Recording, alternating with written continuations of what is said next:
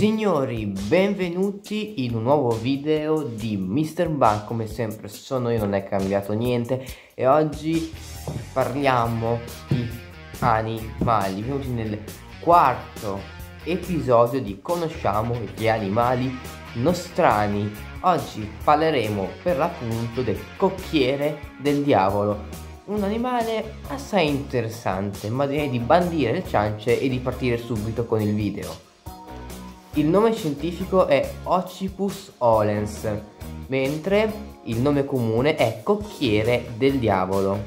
È un coleottero di forma allungata, con due potenti mascelle con apertura laterale e una coda che si rizza verso l'avversario quando si sente minacciato. Presenta una colorazione nera e uniforme su tutto il corpo si ciba di coccinelle, porcellini di terra, i classici isopodi, taglia forbici e in certi casi anche vermi e opilioni. Vive in luoghi umidi e odia il sole. Particolarmente attivo nei mesi di giugno e ottobre. È molto vorace ed è dimostrato che in caso di mancanza di cibo può diventare cannibale iniziando una vera e propria lotta per la sopravvivenza in cui il vincitore divora il perdente. Pre- presenta un carattere estremamente aggressivo e non esita ad attaccare tutto ciò che si muove e che reputa pericoloso. Quando minacciato apre la bocca e morde con le sue potenti mandibole che gli conferiscono una potente presa in grado di bucare la pelle creando così un morso estremamente doloroso. Inoltre solleva e tira in avanti la coda che è in grado di spruzzare un liquido particolarmente urticante.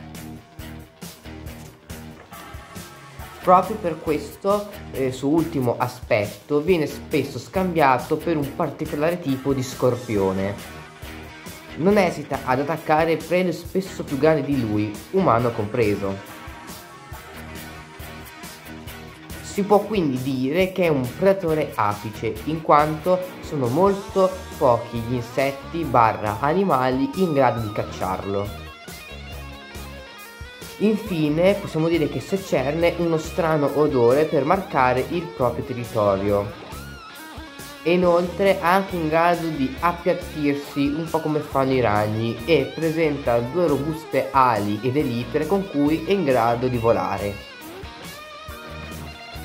Mi sembra che non ci sia nient'altro da dire su questo particolare animale molto simpatico.